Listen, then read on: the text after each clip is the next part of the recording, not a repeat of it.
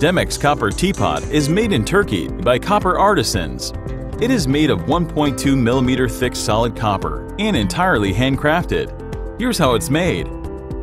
Copper, which comes from the copper factory in the form of a disc, is pressed in specific dimensions.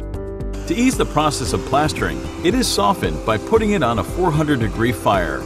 Softened copper takes its first shape in the skillful hands of a copper artisan. Then it's polished as the first step in cleaning. After polishing, it is hand hammered for a long time between the hammer and the anvil by the artisan. After hammering, its spout is welded onto the body. Then it is hand tin lined with food grade pure tin. Since the pot is totally tin lined by hand, any visible streak on the tin lining should not be considered a defect. On the contrary, this is the proof of the hand manufacturing. After lining, the pot is sent again for polishing to remove stains. After polishing, its handle is attached to the body. The logo is stamped and it's sent for name writing if personalized.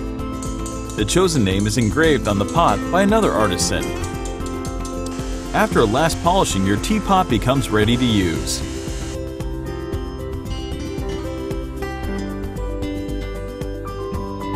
Before using your pot the first time, pour a glass of milk inside and boil the milk on a stove.